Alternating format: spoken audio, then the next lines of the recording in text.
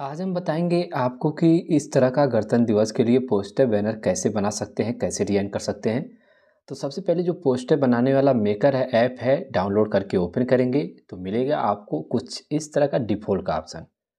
तो आपको करना क्या होगा, नीचे फोर्थ नंबर पे जाना है, इमेज साइज़ पे जाना है और यहाँ से एडिट करके सबसे पहले आपको इमेज साइज़ चेंज करना है। तो इस तरह का इमेज साइज़ रखेंगे आप और यहाँ से इस न्यू टेस्ट को सबसे पहले आप डिलीट कर लेंगे।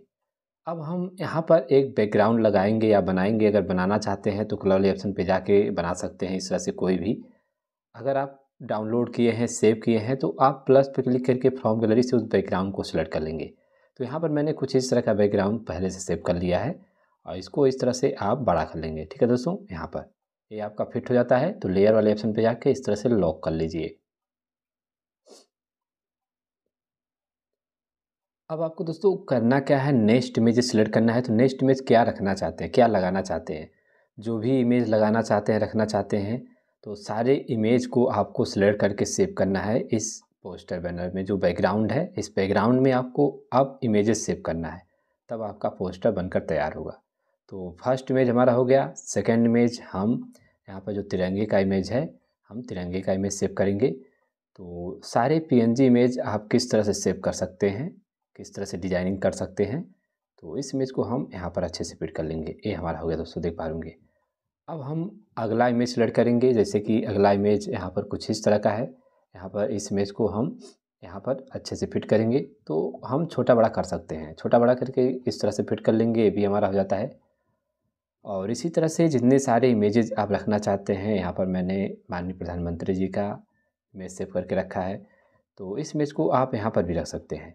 नीचे भी रख सकते हैं। तो इस इमेज को हम रखेंगे ऊपर, यहाँ पर, छोटा बड़ा करके। तो आपको भी रख लेना है, ये आपका हो जाता है। तो आपको क्या करना है, आपको अपना फ़ोटो इमेज सेलेक्ट करना है नीचे रखने के लिए। तो आप अपना फ़ोटो इमेज कहीं भी रख सकते हैं। आप ऊपर भी रख सकते यहाँ पर भी रख सकते हैं और यहाँ पर भी रख सकते हैं। तो इस तरह से आप अपना फ़ोटो इमेज सेलेक्ट कर लेंगे। उसके बाद नीचे आप एक स्टिकर में भी रख सकते हैं या इस तरह का जो इमेजेज है आप रखना चाहते हैं, रख सकते हैं। तो इस इमेज को आप बड़ा करेंगे। बड़ा करके आपको नीचे फिट करना है दोस्तों, यहाँ पर। तो इसको थोड़ा सा हम और बड़ा करेंगे और यहाँ पर हम थोड़ा सा छोटा करना पड़ेगा और यहाँ पर अच्छे से फिट कर लेंगे इस इमेज को। ये हमारा हो जाता है। उसके बाद जो भी इमेज रहेगा, आपको इसी तरह से सिलेक्ट करके रखना है। तो यहाँ से जितने सारे इमेज रखना चाहते हैं, आप इस तरह से सिलेक्ट करेंगे छोटा बड़ा करेंगे तो थोड़ा सा छोटा करेंगे हम इसको, यहाँ पर रखेंगे। अब आपको लिखना है टेस्ट तो यहाँ से एक न्यू टेस्ट लेंगे, टेस्ट को एडिट करेंगे और एडिट करने बाद आपको लिखना क्या है? लिखना है आपको जैसे कि आप सभी देशवासियों को या गणतंत्र दिवस की हार्दिक शुभकामनाएँ या हार्दिक शुभेच्छा। मतलब इस तरह का टेस्टेड आप लिख सकते हैं। ये आपका हो जाता है।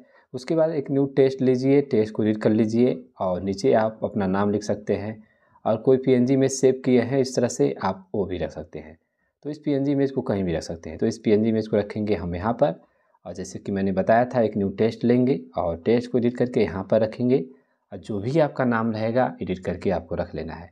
उसके बाद दोस्तों सेव वाले ऑप्शन पे जाएँगे सेव एज इमेज पे जाएँगे यहाँ से जेपीजी और क्वालिटी पे क्लिक करके आप अल्ट्रा या वेरी हाई करेंगे सेव टू गैलरी कर देंगे, आपकी गैलरी में सेव हो जाएगा। तब आप इसको शेयर कर सकते हैं सोशल मीडिया पे, लोगों को रिपब्लिक डे गणतंत्र दिवस, छब्बीस जनवरी पर हार्दिक शुभकामनाएँ हार्दिक बधाई दे सकते हैं। धन्यवाद।